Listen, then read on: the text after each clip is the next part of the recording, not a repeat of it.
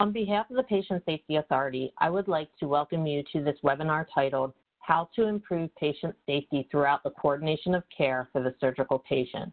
My name is Kelly Gibson, and I will be your moderator for this program. Now I would like to introduce our speaker for the webinar. Penny Hoover is a nurse paralegal and continue, service readiness CSR nurse consultant for Joint Commission Resources. She has served as Director of Patient Safety and Regulatory Excellence in Hospitals, where she was involved in accreditation and certification for hospital and disease-specific care programs. Ms. Hoover exhibits advanced knowledge and skills in patient safety practices, continuous process improvements, regulatory readiness, patient satisfaction, healthcare operations, and risk management principles. She also has experience in policy and procedure development, quality, patient safety, education, employee health, workers' compensation, disease management, enhanced primary care case management, and compliance. Penny, I will now turn the program over to you. Thank you, Kelly, for that great introduction. And welcome, everyone. I would like to take time, um, as Kelly said, the presentation today is how to improve patient safety through the coordination care of the surgical patient. I would like to take a moment, as always, for uh, every presentation that you would have. Certainly, we do have the objectives here in front of you. I won't read them to you. And this will guide our presentation as we go throughout uh, this next hour. I would like to take a time to do a pre-knowledge check. And the reason why we're doing the pre-knowledge check is just so that we can see, take a temperature of where we are now compared to where we uh, our uh, knowledge is post survey. So before we begin, we would like to do answer the next three uh, polling questions. The first question is, does using an evidence-based communication tool help improve the care coordination of surgical patients? The second polling question is, do you use an evidence-based communication tool during the coordination of care for surgical patients?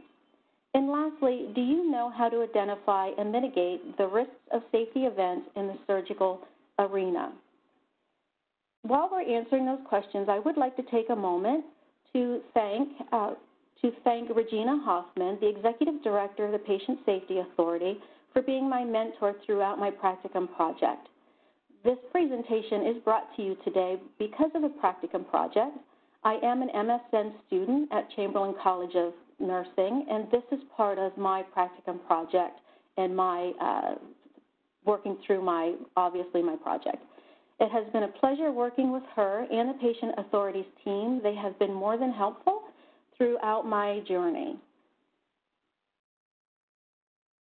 As you can see, the polling questions here, it does look like that a lot of people do use the evidence-based communication tool to improve care during the surgical uh, patient. And it does look like most of us do use a, a communication tool during the coordination of care, and it does look like we do know how to identify and mitigate. For the majority of us, it's actually half and half for number three. That's very interesting that we have some of us say, yes, we do know how to identify and mitigate the risks of safety events in surgical care, and some of us are not sure. So throughout this presentation, we will increase that knowledge base, and well, before we are completed, we will be able to identify and how we can mitigate those risks. The coordination of care in the surgical patient as an MSN project. Why this subject? I would like to pause here to tell you a personal story that impacted one of my loved ones. During a surgical procedure, my husband had to have uh, pre-admission testing. He went through to uh, the physician, he went to, then he was uh, sent over to a uh, specialist, and I do travel extensively for my work. So I would leave on a Monday and I'm not back until Thursday or Friday as a healthcare professional, you can see that this could make families very stressful. He's not very familiar with uh, medical jargon. So during the pre-procedure visit to the surgeon's office and pre-op testing appointments, my loved one told many members he encountered about his medical condition. Each night I called home and my loved one explained to me that uh, he expressed to them his medical condition. He also said he had wrote this condition on an actual piece of paper on intake forms in the surgeon's office. The day of surgery, in the pre-op room, my husband was already prepped. The anesthesiologist and the surgeon came into the room, and they were a little upset with my husband because they, they were not aware of one of my husband's conditions. And even though my husband documented it in the electronic medical record and on the paper, paper record, it was brought up promptly that my husband explained to them that he had von Willebrand's disease. And if you're not familiar with this disease, this disease prevents my husband from clotting, and he really could have bled out. The unfortunate part was, even though to his dismay he tried to stress in the pre op area that he had this disease, he was told that this disease was common and that it's not to be worried about. So the surgeon's office was not communicating with the pre op area. The pre op admission testing office did not communicate to the surgeon, and the surgeon's nurse did not communicate to the surgeon or the anesthesiologist. Everyone we spoke to said that this was because of the electronic medical record.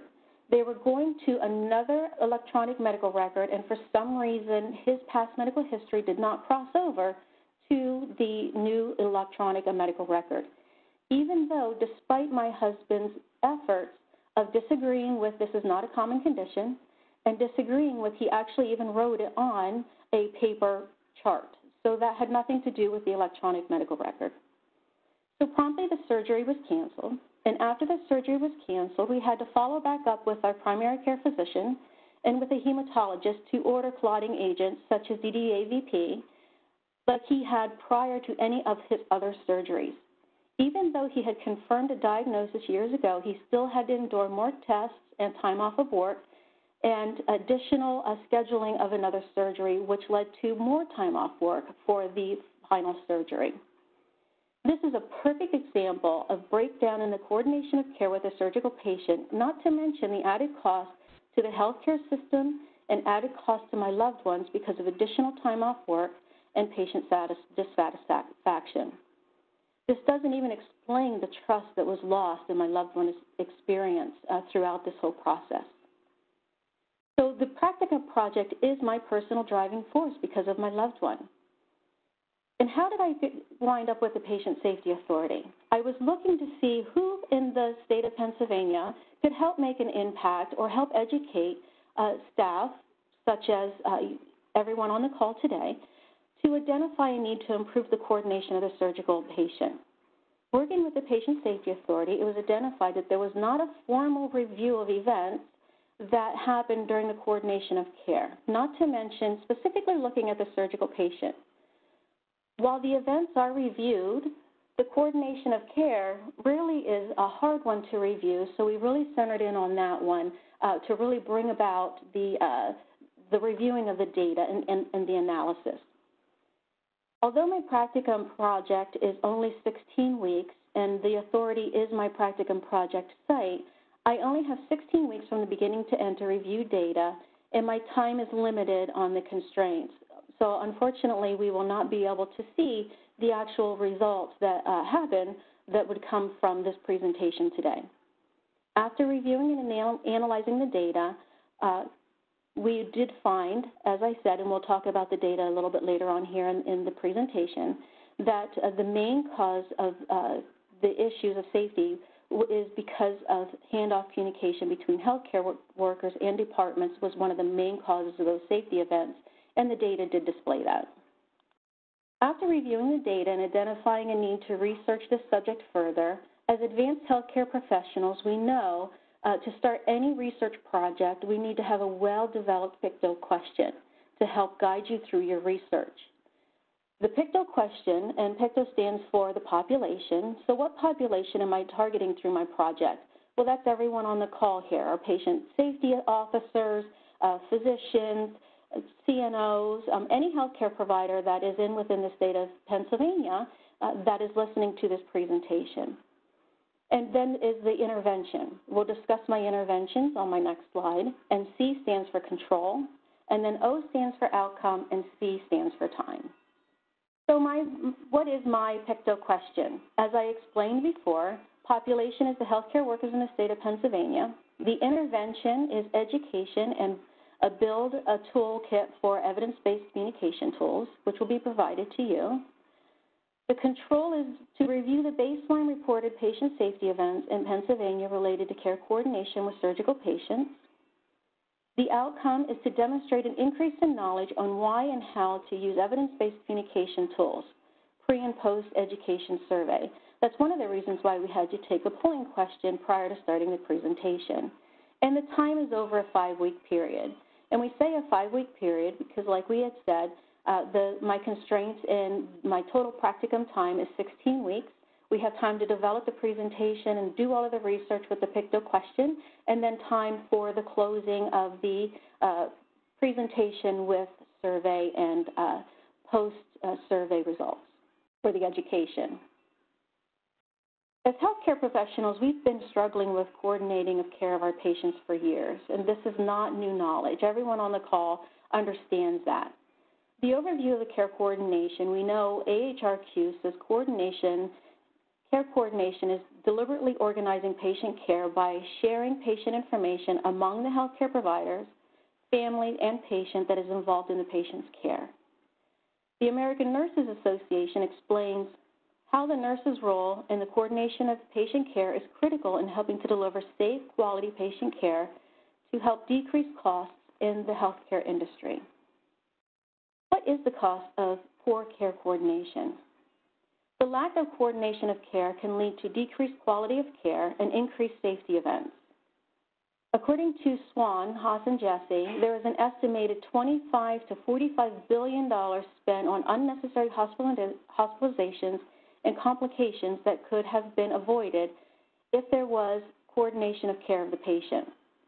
The lack of coordination of care leads to increased hospital readmissions, duplication of tests that we've seen uh, with my husband and his, my loved one of his personal experience, and uh, increased office visits, increased costs, decreased, decreased quality of life, and in some cases, mortality. I would hate to think what would happen of my loved one if we were to proceed with the surgery and, and uh, the pertinent people in his case did not know his past medical history. The lack of care coordination also leads to decreased patient satisfaction and poor outcomes and decreased quality of life. So we know that handoff communication between healthcare providers is the main reason of lack of care coordination. I explained that earlier that, it that, that the data demonstrated that. The Joint Commission conducted an evidence-based project that demonstrated 37% of handoff communication was unsuccessful, resulting in the lack of uh, pertinent knowledge of the patient that was not communicated to the next nurse or the next healthcare provider caring for the patient, and recommends the use of a communi handoff communication tool. AR, ARN explains that the almost 1,750 deaths over five years occur because of communication issues between healthcare workers. This is a picture of an ideal handoff communication. We all know that this is not the reality of what we see. Ideally, we would like to see the involvement of the patient, the patient support system, all the healthcare workers involved, and the patient's entire healthcare system. This includes not only when the patient is in the hospital, but also pre and post hospitalization. We know that this is what we ideally would like, but ideally this is not our reality, especially when it comes to the surgical patient. As we know, the surgical patient most of the time is not able to be involved in this handoff communication because either they're still under anesthesia or they're groggy. So the involvement of the patient really is, does not happen at that time. And it's very hard to get the surgeon in the handoff communication also they're off doing the next case or they uh, ideally and rightfully so are very busy. So what we really need to want to take a look at is the nurse to next healthcare provider handoff communication. You ask why the surgical patient? Why not all patients? Well, mostly due to my own personal experience, to have a focus on, on and also to have a focus on the data we pulled. You could imagine the vast amount of data if we just did care coordination for all of the patients. Um, we did narrow it down. Thinking about that PICTO question, we needed to narrow it down to the population, and then we needed to narrow it down to our outcomes. And the data was very clear that surgical patients was affected by poor communication. Adding to the complexity of the surgical department, there are many different types of handoffs that happen with each encounter additionally in the surgical area and internal staff. The surgical staff needs to communicate to all, all units in all areas within the hospital. ARN explains teaching hospitals have approximately 4,000 handoff communications daily, and it's estimated millions of patients come through the surgical department every year. And each surgical patient encounters, as we said, many different types of handoffs, and the internal surgical team hands off to many and multiple different types of departments. And many of them may use different types of communication tools. Poor communication results. Communication errors results in 50%, 56% of operative and postoperative complications. 63% of retained foreign bodies are caused by a lack of communication. And wrong site or wrong procedure makes up 68% of safety events in the operating room, which are caused in part by inadequate handoff communication. So, what's the big deal? The big deal is in most healthcare organizations, each department uses their own handoff communication tool. There's no standardized process. If there is a standardized process or the tool, if there is a standardized process, the tool is not used to its maximum, maximum potential or appropriately or at all. Communication errors are among the top three root causes of sentinel events every year since 2004. The evidence is in the data. So the driving force. What is the driving force? Well, let's take a look at the data. According to the Patient Safety Authority's reporting system, the majority of the event types were errors related to procedure treatment tests and other miscellaneous issues. When analyzing the data and breaking it down further by sub-event, we can find out exactly what happened here. So looking at this slide, you will see that this is just an event type. When you go into report events, you will see an event type, so you need to categorize it into an event type. What we did, uh, what I did partnering with the Patient Safety Authority and their data analysis and Regina, we broke it down further looking at those sub-event types for all these categories that were reported, and we will find that they it was indicated that there was no communication to the next healthcare provider, or there was miscommunication of post-procedure reports was not given, or handoff was incomplete to the next caregiver, or handoff was clear, unclear, or just never even happened. So again, let's look at the data. As you can see, this slide demonstrates that in the, once we break down the data and analyze it further, in the sub-event type, it confirmed that handoff communication between caregivers was the root cause of patient safety events during the coordination of care of the surgical patient. And this really does, the evidence in the literature backs it up. While there were other communication safety events, as we can see here on this slide, handoff from one caregiver to the other was the majority of the sub-event types. Over 50% of the communication errors was because of the handoff communication. We already reviewed some examples, my driving force for my uh, project, my MSN project. But when we looked at de the, some of the de-identified reporting patient safety events, we looked um, to some examples to help explain what happened. What were the details? What, what happened what was the circumstances behind why that handoff communication did not happen. And here are a few, again, de-identified examples. So when, when a circulating nurse was being relieved in the operating room, during handoff report, it was not communicated that the patient was on droplet precautions. The operating room did not have any kind of indication on the doorway or on the exterior doorways that the patient needed droplet precaution. When the case ended and the patient was still in the operating room, the scrub nurse and other staff removed their masks, still not knowing the patient was on droplet communication, droplet precautions because that was not communicated to them.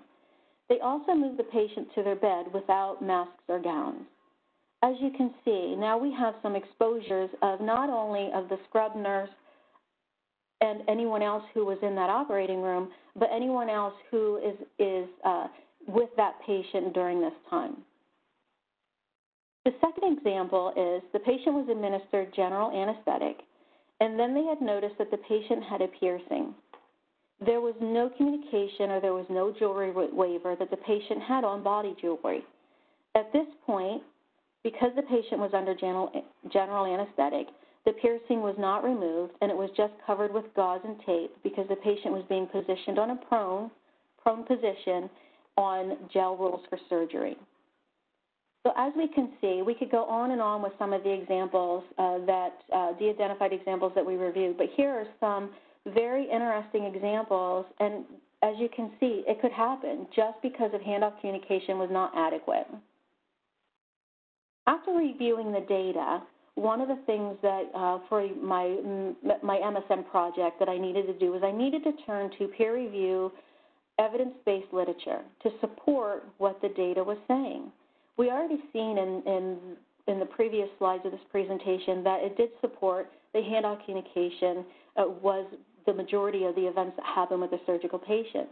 But here's additional evidence-based literature, and what it really says is that handoff communication between the operating room and post-anesthesia care units is imperative for the continuum of care. Also indicates that using an evidence-based handoff checklist or communication tool can help decrease adverse safety events when the patient transitions from the operating room to the PACU or other departments in the healthcare facility. And why is that important?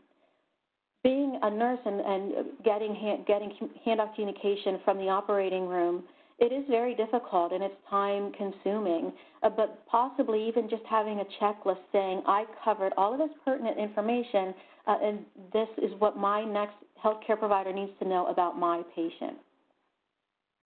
And then the standardization of evidence-based communication tool is a critical part of handoff communication. There was a study that was completed and by uh, Lord and Sack et al., and the study was regarding handoff communication issues in an organization that completes over 8,000 elective and emergent surgeries every year. And what they wanted to know was they wanted to know when the staff used a standardized handoff communication tool effectively and efficiently each time, what was the result? So 91% of the staff reported that the use of standardized communication tools increased their perception that safer, better care occurred. Additionally, by using a standardized communication tool, the perception of staff was that they delivered better care that led to improved, safe, quality patient care. And we can see by the studies that was committed that uh, was completed earlier in the slides that that that is true. How do we communicate effectively and efficiently? Standardized handoff communication during the coordination of care of the surgical patient can happen by using an evidence-based communication tool. Standardizing the use of an evidence-based communication tool, such as using an SBAR or using uh, the IPASS, can really help with handoff communication and decrease patient safety events while giving a concise, focused review of the patient's condition to help ease the coordination of care from one healthcare provider to another. The SBAR tool is regarded as the best practice for patient safety when it comes to coordination of patient care. Where you can see the SBAR tool stands for Situation, Background, Assessment, and Recommendation. In a quasi-experiment conducted by Samara and Fathi, the use of the SBAR tool to teach effective handoff communication decreased patient safety events and standardized the care of the patient, which helped improve critical data points in the patient's care to pass from one healthcare provider to another. As you can see here, the figure is of a SBAR tool. IPASS is the second most commonly used. IPASS most is uh, what we have found is used mostly uh, by physicians, but sometimes by nursing also. And the reason why I bring it up here is because IPASS is, like I said, another one of those standardized evidence-based communication tools that helps decrease patient safety events. IPASS stands for illness, illness severity, patient summary, action list, situation awareness, contingency background synthesis by received, also known um, as the IPASS tool. A patient summary would include a statement of the patient's condition events that led up to the patient's admission through the hospital course, ongoing assessment, and plan for moving forward. The action list is to do for the patient and who is responsible for what to do. So the action list is what do I need to do next? Uh, you know, the patient needs to have oxygen, it can have, the patient can have morphine every two hours for pain, so forth and so on. The situation awareness and contingency plan is knowing what is going on with the patient and having a plan for what might happen during the patient's course of treatment. And synthesis by the receiver is where the receiver summarizes what was heard, a time to ask questions, and restate key actions or to-do lists. So you ask, how do I have time? I'm, I'm dropping, I'm giving a handoff communication to PACU. How do I have time to do all of this handoff? Well, like we said before, it would be easy if you used an evidence-based checklist also. If you would have a checklist that would go down, and it could be in the electronic medical record, where you have a checklist and you go down and your handoff communication is very concise and to the point and covers all of these bases either in the SBAR or in the IPASS communication tools. So how can you help?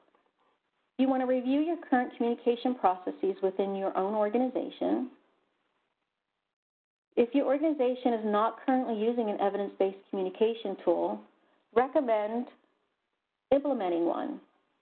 Standardize the way handoff communication is completed by consistently using an evidence-based communication tool to its fullest potential. And like we said before, the SBAR and IPASS tools have become best practices when coordinating the care of the patient in any area, but especially in the surgical area, when a patient is transitioned from one care provider to another. So what are your next steps? Don't let your loved one become the next safety event. If we have that in the back of our mind, we will always do the right thing no matter how rushed we are. And it's not that we don't ever want to do the right thing. Sometimes we develop workarounds that uh, allow us to not complete or utilize those evidence-based communication tools effectively and efficiently as they've been designed. So what you want to do is work on a cohesive team together to decrease communication issues at pivotal points during care coordination with a surgical patient. Share what you learned here today and spread the news to help decrease safety events that happen during the coordination of care of the surgical patient to help increase safe, quality patient care to enhance better outcomes. Always remember your Plan, Do, Study, Act. If we plan for what we want to do next, we look at what we're going to do, we check, and then we act. And then always use that Plan, Do, Study, Act. This is a nice toolkit for links for evidence-based communication tools. You can click on these. You'll be able to find samples of the IPASS. You'll be able to find uh, what you can do to implement that process of implementing the IPASS or the SBAR, how you can get buy-in from staff, and how you can move forward and evaluate the results of your uh, new practice for implementing evidence-based communication tools and using them during each care coordination touch point for the surgical patient. Thanks, Penny. That concludes the slide presentation portion of our program. Now we would like to begin our question and answer period. Penny, it looks like we have um, a few questions. Uh, can the evidence-based communication tool convert to an electronic medical record? Kelly, that is a great question, and yes. Uh, I personally have seen both paper and electronic medical record um, evidence-based communication tools that can work uh, both effectively and efficiently. You can work with your health information informatics team. I'm sure that there's probably already one built. If not, you it would be a, a, a process that you can work with them for. Thank you for the question. Sure. How did you and the the Patient Safety Authority pull the data from PA Pacers? Boy, Kelly, that is another great question. Um, certainly, when we, uh, Regina and uh, the data analysis met, we uh, looked at reviewing uh, the safety events that reported through the, the Patient Safety Authority's uh, reporting system. We specifically looked at surgical patients because um, we wanted to take a look at um, first the key area types. And so obviously it was the surgical patients. We wanted to take a look at, you know, how far back were we going to go with the data. And we looked at the year, we actually went back just this past year and it resulted in a lot of uh, safety events. Then we went to the event types and um, as you've seen by the communication, and we used the key words as communication, handoff, and time off. Great question. Thank you. Have you seen in your travels and working with other facilities uh, um, a tool that is utilized more frequently? Yes, and thank you, Kelly, and, and who asked that question. It's a great, uh, great question. The SBAR is is used the most is the tool that I see used the most. It is either electronic and or paper, uh, but that is the tool that I've used most. Some actually use it as a, they actually write out on the S-bar. Some uses it as a checkbox that they can pull pertinent information from the patient's medical record that's actually on the S-bar tool. They can print that off and use that um, or pull up a computer and use that as handoff to guide the communication it's amazing how we can integrate the technology into the communication that we have on a day-to-day basis. Thank you for that answer. Sure. Another another question came in are examples of handoff tools available that can be used as a starting point for organizations to build their own? Yes, there are. And like we had shown you, I'm going to go back up to uh, slide 25. There are examples of handoff communication tools on, um, I'm so, so sorry, on the IHI website, on AHRQ's website. Uh, so there are links here so that you can see samples of uh, communication tools. Perfect, thank you.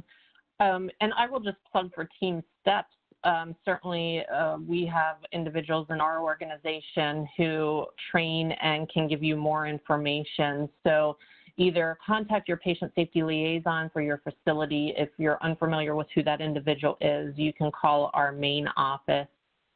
Penny, thank you so much for um, all this information. It's definitely great to see what the data, you're sharing your personal experience um, and how that can translate into practice in facilities. Um, I don't see any additional questions at this time.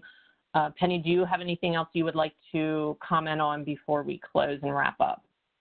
Yeah, Kelly, I do. I mean, that is a great point, too. TeamSTEPPS is a wonderful, they have a lot of different tools that you can use and a lot of different keywords that if you do see that there is a safety event that may be happening um, not only in handoff communication or the coordination of care of the surgical patient, but just in any of the care, there's certain keywords that you can use that would basically have like a time out and say, you know, let's just stop at this time, let's reassess the situation, and let's move forward prior to a safety event happening.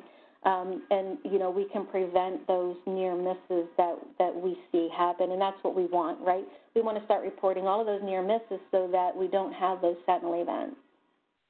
So we have a couple questions here. Um, root cause per Joint Commission. Are researchers exploring more additional drill downs into the types of communication failures? May I ask for a restate of that question, or let me see if I can understand what you're asking.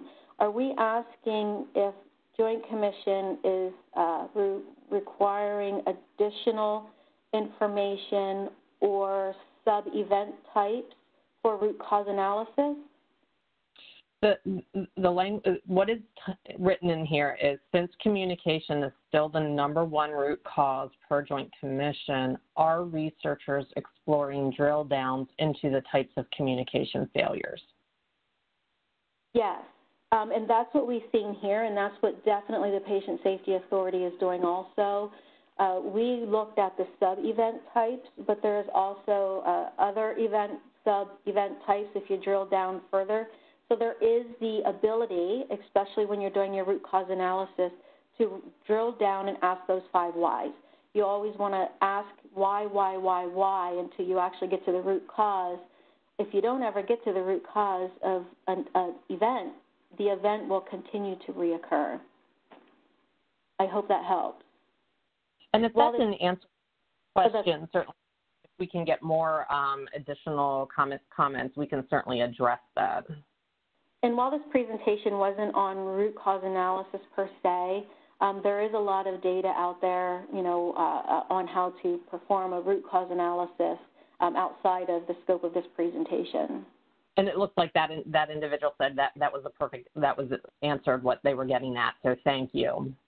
Sure. Um, it looks like um, the reference for the Kirschbaum's for the Kirschbaum reference on slide 13, somebody would like additional. Um, I guess it was not on the reference list. If we can just get the full citation there, is that yes. possible? The references are listed in the uh, at the end of the presentation. I don't think we got there because we were doing the uh, here. There's three pages of references, so you will find the full reference on these slides here. Does that help? Thank you. You're welcome. I know we had the, I think we have the educational uh, information prior to the references. And certainly if there's any other questions that you may think of, certainly you can reach out to the authority and I would be more than happy to answer those questions as you think of them. Somebody else had commented that a great presentation, but they also had done their handoff for their capstone and it was about the IPASS. And IPASS website has many free products to help staff. So if anybody else is you know curious where to go or look for additional information, so I appreciate the individual who shared that information. Yes, and thank you too. I, I appreciate that too. I know that there are some in the toolkit. There's some links for the IPASS also, um, but certainly, you know, for your capstone, you might have done uh, might have different references that would be helpful too. Thank you for that. If there are additional questions, please feel free to type them in the Q&A panel. Um, it's a lot of good food for thought, I think. Um, if there are individuals who are going back to their facilities, Penny, do you have any, um, what would be the number one thing to maybe tackle in going back and wanting to do something about handoff communication? That's a great question. First thing I would look at is what do you currently do? uh, you know, and, and what's currently expected of the facility. You know, if your if your policy is saying that you're supposed to be using an evidence-based handoff communication during handoff, then that's the expectation. Leadership has set that expectation, and that's what they would want to see. You know, uh, so first look to see are you using an evidence-based communication tool. If you are not using an evidence-based communication tool, work with your, uh, you know, you can start if you have a nurse practice council you can start working with a nurse practice council to do it, or you can just start doing it in your own department as a pilot. Pick a tool that you uh, think would work great in the surgical arena, such as the SBAR or the IPASS. Um, there's certainly there's many other evidence-based tools out there, but the most uh, uh, most cited is the IPASS and the SBAR tools, And then implement that, pilot it, and then you can expand it throughout your organization from there. You might also want to take a look, where is your organization with safety events?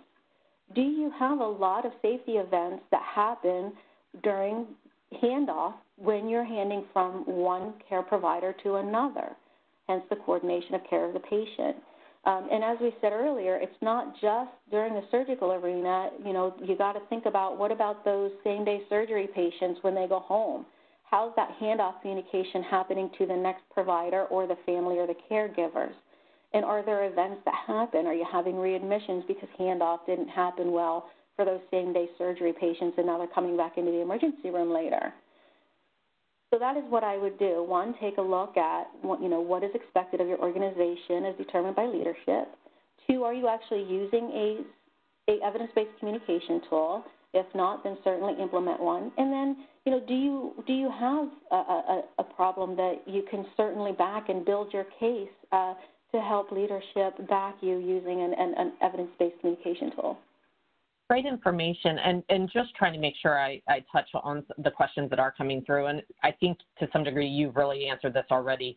Um, we have a question asking, can you describe how you identify and mitigate the risk of safety events in the surgical area? And I, I, I think you kind of touched on that with this last question. Yes, and, and that is what you want to do. Uh, first, you know, how, how do you identify or mitigate those risks? One, one, you have to know, do you have a risk? Now, are you getting any reports back, uh, maybe from your performance improvement department or your patient safety department or your manager of surgical services of the events that actually are happening in your surgical care area? Uh, if you're not, I would I would start there, saying, you know, what are my events? What what can I do to help increase patient safety to decrease safety events within the surgical area, and then and, and go from there. You can't you can't prevent something if you're not sure that things are happening, or you can't if you think something's going to happen, you need to stop the line using such like we talked about previously about TeamSTEPPS, how they have those key words. If you see something happening, um, you're going to go transfer a patient and you stay on three and someone moves on two, you know, that is a lack of communication and the patient falls on the floor. So you really need to be clear of all of those safety events that happen within your organization, such as the examples we've seen. You know, you really want to make sure that if if you had a patient who came in who was supposed to be on droplet isolation and no one communicated that to you, that's a safety event. You need to mitigate that and make sure that that doesn't happen again. I hope that helped. Did that did that answer the question for them, Kelly? I think so. Thank you so much. Because there's a lot of things to take into consideration when you're going to implement or where to tackle and focus your efforts. Um, you, you, talked about the nursing practice councils. What role um, have you seen the nursing practice councils play in implementation of these communication tools? Very interesting question. The and, and a great question. You know, Nursing Practice Council, uh, I'm not sure who's a magnet hospital and who's not. Um, usually they're developed because of, you know, they want to be a magnet hospital or try to get to be a high reliable organization with zero harm. So, you know, I have seen leadership give nursing practice councils the leeway to say, yes, if you want to implement an evidence based communication tool to decrease safety events or prevent safety events that are happening within our organization, I, I I would not think that your leadership would say no. um, but yes, the nurse practice councils, they do lead the way and then they report up to leadership. They do have the autonomy, I guess, that is what I'm getting at. I hope that answered the question. Yes, and very, a lot of food for thought. Um, I think there's been a lot of questions that have come in that we've answered, um, and a lot of to I think wrap our brains around as far as probably next steps of as far as implementation. Um, if there's any other questions, please feel free to type them in the Q and A. Um, again, it, it, just some great information, a lot of food for thought. Um, and do you have any um, comments or thoughts, and in, especially recently with what we've been seeing with COVID? Any um, communication concerns, certainly particular to that? Anything that you explored in the data when you were looking at that? Again, great question. And COVID is so new to have a to find evidence-based, peer-reviewed literature regarding COVID. It's just so new yet. Uh, you know, I mean, while I have seen articles, um, I have there one article here or there, and they were not scholarly articles that I would be able to uh, recite at this time.